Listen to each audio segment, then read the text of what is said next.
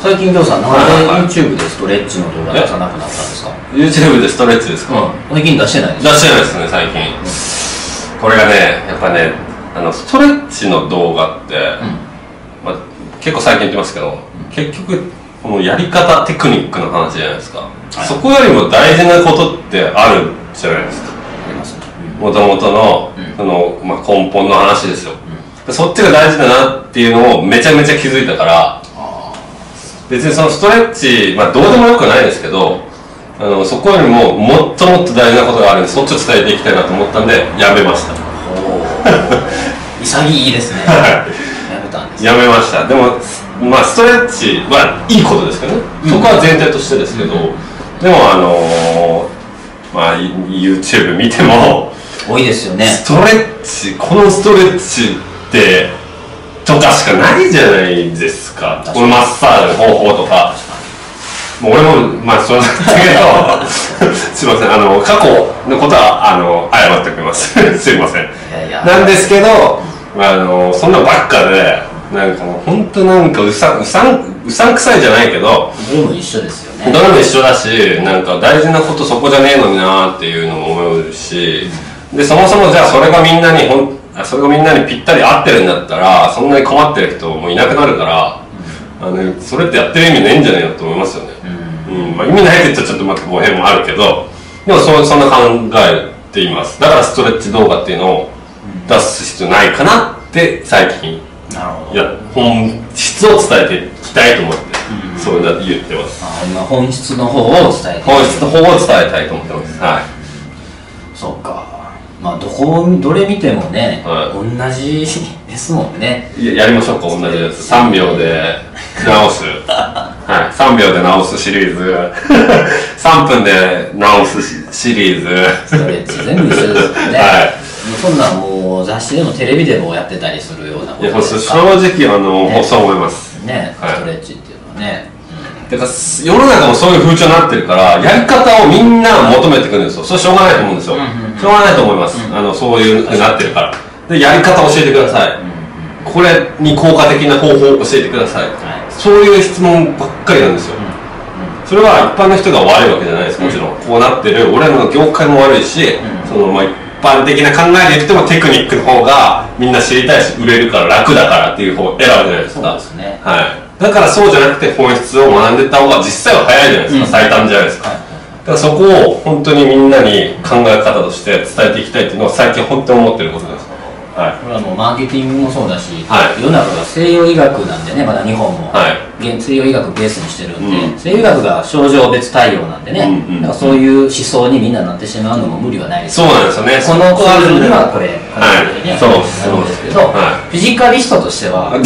症状別対フィジカリスト。応ないんですよね。これはね、本当ね、俺もこれを聞いて、そうやなってめっちゃ思いました。うん。うん。だからね最近だから思うのが、はい。整体師さん治療家さん、まあはトレーナーとかもみんなそうですけど、はい、はなんかみんなその特に整体師さんもそうなんですよ。何秒で治すとかね、はいはいはい。その医療お医者さんと同じようなことをに介入しようとしすぎだと思うんですね。い。勘違いしてますよね。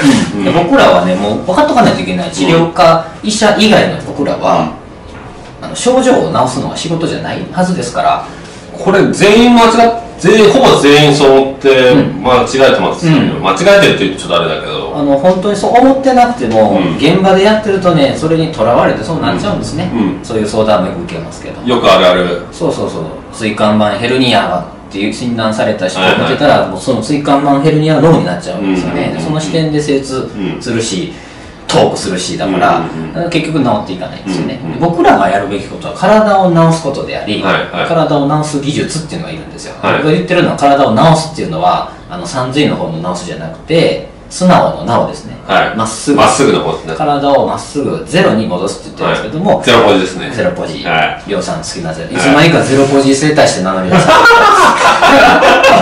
びっくりしたんですけども、その、だからゼロに戻すことが僕らの仕事ですよ。で、じゃあ体が治すんですよっていうところをもっと落とし込まないと、はあの自然治癒力とか言っときながら何秒で治すとか本当そう。俺が治してるみたいな。そうですね。そういうのはちょっともうありえないんでね、うん。それはお医者さんの仕事だから、いそうい。うのはもうあの医療に潰されますし僕らね、うんうん。やったらいけないことですし、そもそも、だから僕らはもう体を治す。で体をしっかりと元の本来の元の状態に戻す、うんであとは体が治していくんですよという原点に、まあ、立ち返った方がいい。でその立ち返るための技術がないんですよね。確かに。理論もないし、うん、だからそれで困っている迷っている整体師さんも多いことはまあ知ってるので、うん。整体業界長いから、うん。まあ、そういう意味も込めてそのフィジカルコードっていうのを作ったんですけど。ね、うんうんうんうんうん。いやそれでね本当にあのその通りでもう僕らって本当に直すことにとらわれすぎてたというかまあ多分みんなそうだと思うん一時期は整体師さんそうなりますよね。僕も直すっていうなんかでも違和感はまああったんですけどあったけどやっぱり直す。俺が直してるっていうのも最初はやっぱありました、でも途中でやっぱ気づいてきて、俺が直すんじゃねえなと。俺が俺はサポートだと。うん。でその人自身がちゃんと直すって意欲を持たないと治らねえんだなっていうことには気づいてたんですよ。ただそのまだちゃんとしてもう一気に軸がなかったわけです。で王子に会ってこの完璧な軸っていうのができたから今は本当にもう自信をもっと昔より自信を持って本当のことをちゃんと伝えられるようになったなっていうのはありますよね。みんなこうなってほしいんですよね本当、そういう思いはあります。ね。うん。そういう意味では僕は気づくのは早かったと思う確かに。だってずっとそれやってさっきやったもん。ねうん、絶対に開業時代は一時期はそうね、はい。もう直すってことにとらわれてしまった時もあるんですけどある時からもう諦め完全に諦めました。違うかった。です直せない。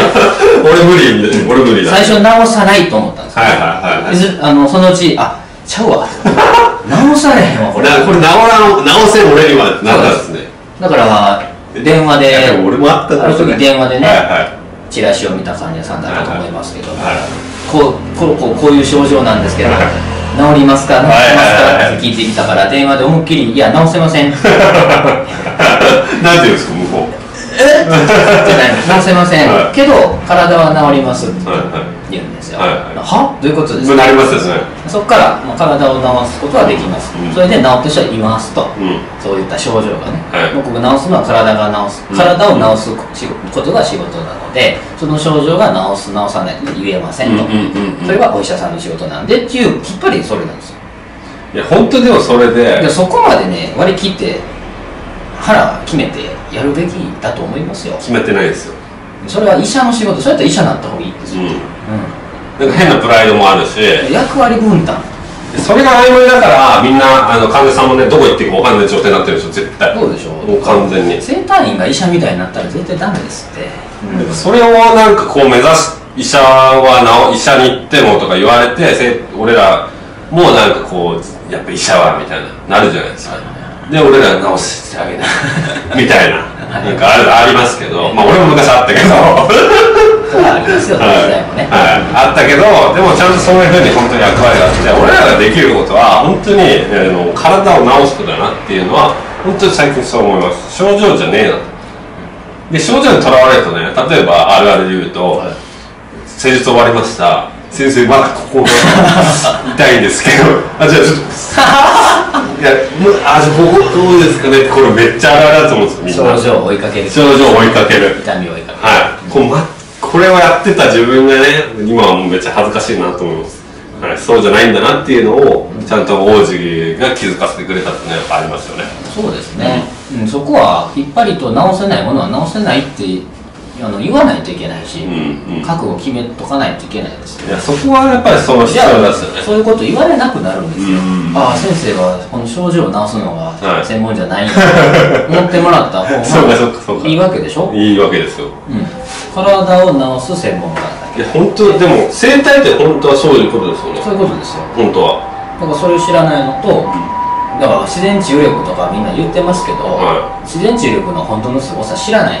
体がどれぐらい治す力を持ってるかは知らないはずですよ、確かに。う自然治癒力って言ってるだけですもんん、ね。知ってたらなんで医者のように同じことしちゃうんですか？確かに。うんだからもう僕は知ってるのでだから体は治せます症状は治せませんってきっぱり言うんです、うんううもう王子は完全なフィジカリストだから、いろいろもう分かって分かりますもんね。そうです。でそれがそこに行ってないからみんな。そこに行きつけてないから分かんないんですよ。だから症状にとらわれた時点でね整体師としては僕からしたらアウト、うんうん、そこであのもうブラインドかかるんで、うん。毛様体不活系って脳にありますから、はいはい。もうそれ視点でしか見えなくなるんで、うんうんうん体がどうなってるかが見えなくなるんですよ。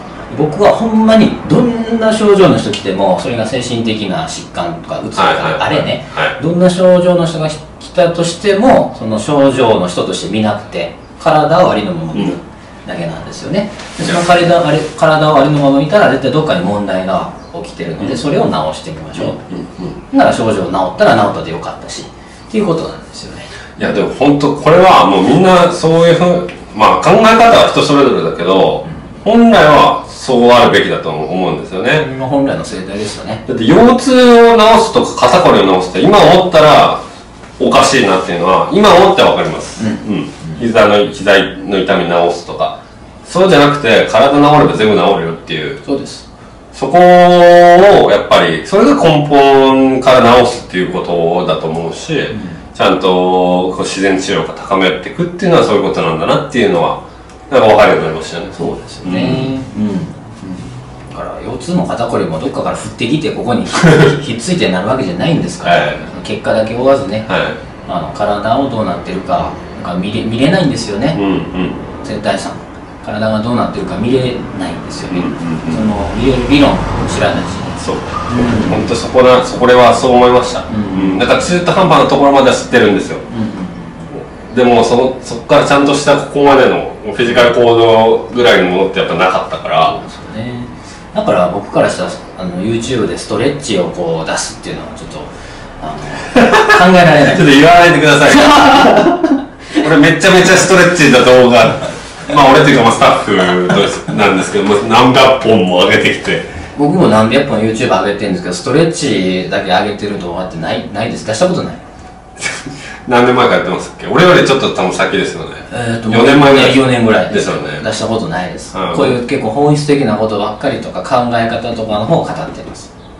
僕全然。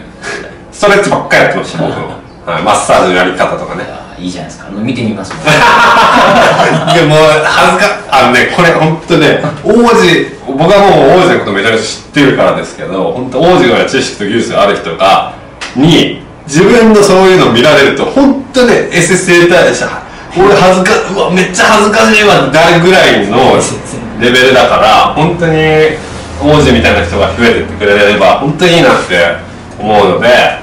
だから今素人の人でねフィジカリスト増やしていってるので、ね本当に。増えてきてますからあのそのうち整体師さんより体のこと知ってる素人の人が溢れ返る世の中でいや本当そうしたいですよね。もうなってきてますからね。少なくとも僕の周りはもうじわじわ増えていってますので、はい、いやそれを本当目指してやっていきましょう。だから2人のコンセプトが共通しててね、はい。この世から整体師をなくすとはい。いうのがコンセプトですよね。はい。はいまあ、本物の整体師、まあ、整体師ねよく言いますけど整体師自体は、あーまあ、なくなることはないかもしれないけど、まあ、本物の整体師だけがね、うん。残る時代になればいいなっていうのはありますよね。だから本当に皆さんこのことをしっかりと覚えておいてください。お願いいたします。